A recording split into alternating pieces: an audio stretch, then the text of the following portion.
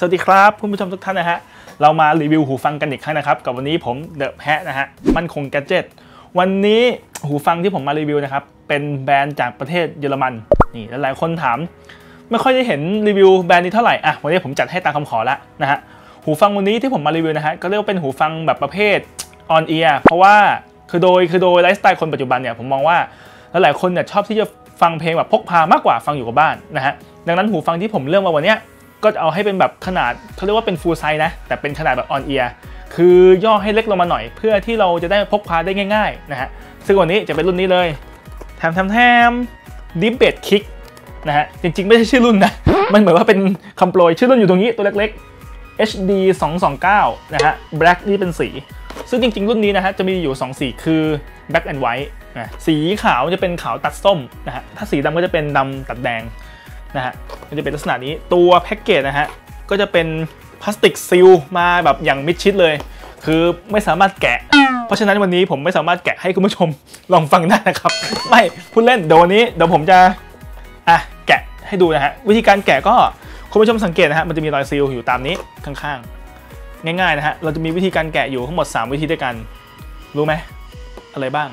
วิธีแรกนะฮะให้คนอื่นแกะให้ วิธีที่ 2 นี่มีด วิธีที่สามกันไกรก็ใครชอบเป็นพวกซาดิสก็ใช้มีด ใครอยากแกะง่ายก็กันไกรนะฮะ วันนี้ผมใช้มีดนี่แหละ คือจริงๆก็แกะไปเถอะคุณผู้ชม แต่ทีนี้ระวังนิดนึงนะฮะที่ผมกำลังจะบอกคือว่า เราใช้อุปกรณ์ใดๆก็ตามนะฮะสังเกตตัวแพ็คเนี่ยเขาจะมีลักษณะเป็นรอยนูนนะฮะ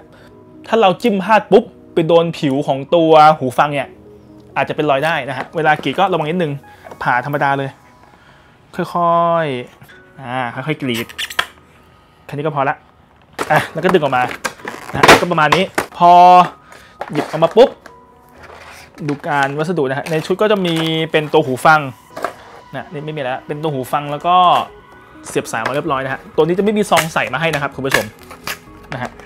แล้วก็ดึงมาข้างๆปุ๊บเห็นไหมฮะเขาจะวางสายไว้ตรงนี้ปึ๊บล็อกไว้แน่นหนาจริง ๆ แกะยากเหลือเกินอะ เรียบร้อยนะฮะเราเก็บนี้ไปก่อนนะฮะนี่ลักษณะเต็มๆของตัวหูฟังจะเป็นลักษณะนี้ นี่นี่นี่ดูนะฮะก็ตัวหูฟังนะฮะตัวนี้สายเขาคุณผู้ชมสังเกตนะ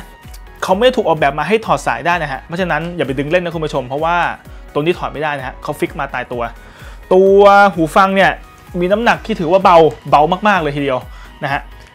คือน้ำหนักน่าจะประมาณ 100 กรัมประมาณนี้ ไม่น่าไม่น่าจะเกินมากกว่านี้คุณผู้ชม ทีนี้ทีเด็ดของรุ่นนี้คืออะไรนะฮะ ตัว driver ของรุ่นนี้เขาจะใช้แม่เหล็กเขาเรียกว่าเป็นแม่เหล็กประเภทใหม่แล้วคือ neodymium ซึ่งเราจะเห็นว่าปัจจุบันเนี่ยค่ายหูฟังต่างๆนะฮะก็จะเริ่มเอาแม่เหล็กประเภทเนี้ยเข้ามาใช้เขาบอกว่าไอ้พวกเนี้ยแม่เหล็กประเภทนี้เนี่ยเรียกว่าไงมีหลักการสะท้อนของเสียงได้ดีกว่าแบบเดิมๆนะฮะคือเขาออกแบบมาแล้วนะฮะหูฟังตัวนี้นะฮะถึงแม้จะเป็น on-ear แต่เขาก็ออกแบบมาเป็นแบบ closed back เพราะฉะนั้นเนี่ยจะป้องกันเสียงภายนอกได้ดีพอสมควรนะฮะมากับตัว padตัวแพดที่มันจะไม่ใช่ฟองน้ำคุณผู้ชมมันจะเป็นหนังเทียมนะฮะแต่ตรงกลางเนี่ยเขาจะบุคือข้างในข้างในหนังเทียมเนี่ยจะบุด้วยฟองน้ำแล้วก็ตรงกลางจะมีรูเห็นไหมฮะเพื่อให้เสียงรอดตรงนี้ ก้านหูฟังก็สามารถปรับระดับได้คุณผู้ชม มี LR บอกชัดเจนนะฮะด้านข้าง แล้วก็บริเวณตรงก้านคาดนะฮะจะเป็นพลาสติก คือวัสดุโดยรวมเนี่ยเป็นพลาสติกทั้งหมด แต่เป็นพลาสติกที่ มีความยืดหยุ่นสูงคุณผู้ชมนี่ผมงอให้ดูนะฮะแต่คงไม่ไม่ขนาดว่าง้างเนี่ยแบบร้อยแปดสิบองศาไม่ถึงขนาดนั้นนะฮะแต่ก็คือง้างแค่เนี้ยเพียงพอต่อการใช้งานปกติแล้วฮะถ้าเราไม่ซนจริงๆนะคือถ้าไม่ง้างพวกนี้ไม่มีทางหักนะฮะแต่ถ้าง้างเต็มแรงก็โอกาสป๊อกก็มีสูงมากคุณผู้ชมนะฮะบริเวณก้านก็จะมีแท็บเขียนว่า Sennheiser บริเวณ housing จะมีโลโก้ Sennheiser อยู่นะฮะทีนี้เรามาดูเรื่องสายนะครับรุ่นนี้เนี่ย ที่ผมหยิบมาจะเป็นรุ่นที่ไม่มีตัวคอนโทรลทองนะฮะก็คือฟังได้อย่างเดียวนะฮะสายความยาวก็เท่ากับมาตรฐาน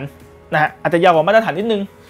เท่าที่ทดสอบโดยสายตาดูน่าจะประมาณเมตรครึ่งโดยประมาณนะฮะก็ถือว่ายาวพอสมควรที่สำหรับใช้พกพาหรือเดินไปฟังไปอะไรพวกนี้นะฮะลักษณะตัวหูฟังก็จะเป็นประมาณนี้นะครับเบาๆทีนี้ทดสอบเรื่องเสียงกันดีกว่าว่า ตัวนี้เนี่ยเขาบอกว่าคิกเบสใช่ไหมอยากจะรู้มันคิกขนาดไหน นะครับ แล้วก็ป้องกันเสียงได้ดีแค่ไหน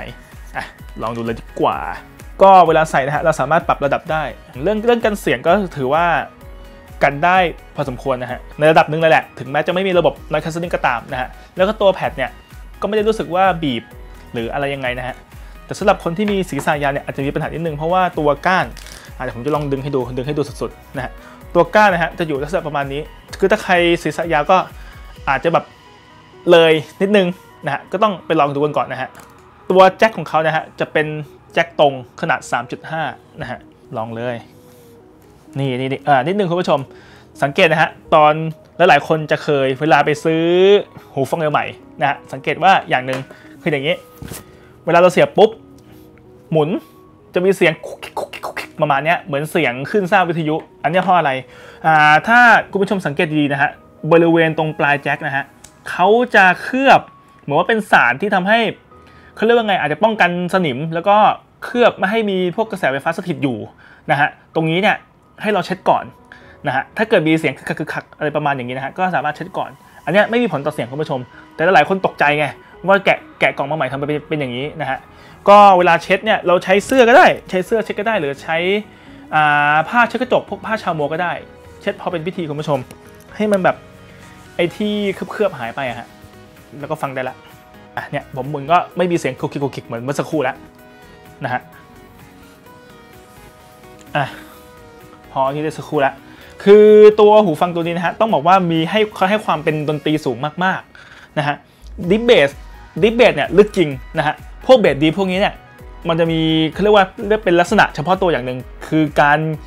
เบสเนี่ยเวลาเดินเนี่ยจะช้านิดนึงเนิบๆนิดนึง คือจะไม่กระชับฉับไวนะไม่มาแบบมาเร็วไปเร็วอะไรประมาณนี้ไม่ใช่นะฮะแล้วก็ตัวเนื้อเบสเนี่ยไม่เยอะมากคุณผู้ชมเขาเรียกว่า Impact Impact ของตัวนี้เนี่ยถือว่าเบส Impact น้อยนะฮะจะเน้นโทนนุ่มๆมากกว่าฟังลื่น เพราะฉะนั้นถ้าเมื่อสักครู่เนี่ยผมฟังพวกเมทัลพวก Evanescence นะฮะหรือเป็นร็อกหนักๆไอ้พวกนี้อาจจะไม่ได้อารมณ์เท่าที่ควรนะฮะแต่เสียงร้องเสียงร้องของรุ่นนี้นะฮะถึงแม้ว่าจะเป็นหูฟังที่เป็นแบบ closed back เสียงร้องปกติที่เราฟังพวกนี้เนี่ยมันจะเป็นลักษณะเฉพาะตัวคือเสียงมันจะอับๆหน่อยอู้ๆนิดนึง แต่ตัวนี้เนี่ยด้วยความที่ว่า